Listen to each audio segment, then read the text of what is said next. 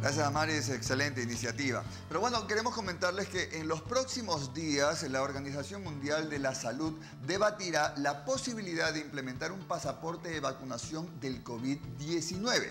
Este consiste en que cada persona para poder viajar porte una cartilla similar a la que nos piden, por ejemplo, ciertos países para la fiebre amarilla. Así es, pero en este caso que certifique que la persona está vacunada contra el coronavirus. Esto a raíz de la eficacia de varias vacunas y su implementación en distintos países.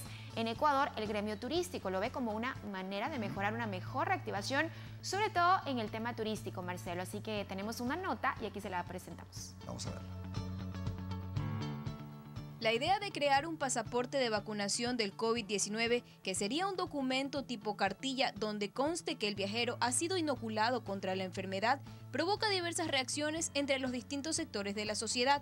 Por un lado está el gremio médico que considera que este frenaría las libertades individuales, pero por otro lado está el sector turístico que lo ve necesario para una reactivación segura. Así lo manifestó el presidente de la Federación Nacional de Cámaras Provinciales de Turismo del Ecuador. Yo creo que aquí hay que diferenciar entre la vida y la muerte, entre la reactivación y la quiebra.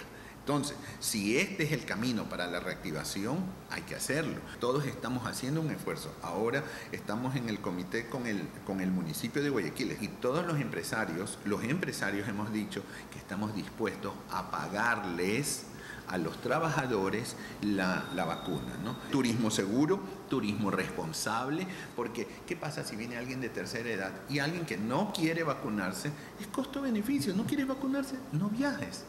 Lo ve factible por la eficacia que tienen las vacunas de las distintas farmacéuticas y porque un gran número de países están en el camino de inocular a sus ciudadanos, por lo que en el caso de que las autoridades ecuatorianas lo propongan, van a mostrar su total apoyo, sobre todo por la crisis que vive su sector. Y estamos ya con una mentalidad que todos los países tienden a vacunar a todos o a la gran mayoría, porque yo me imagino que esto debe ser un 98, 99% de la población que va a querer vacunarse, entonces sería bueno.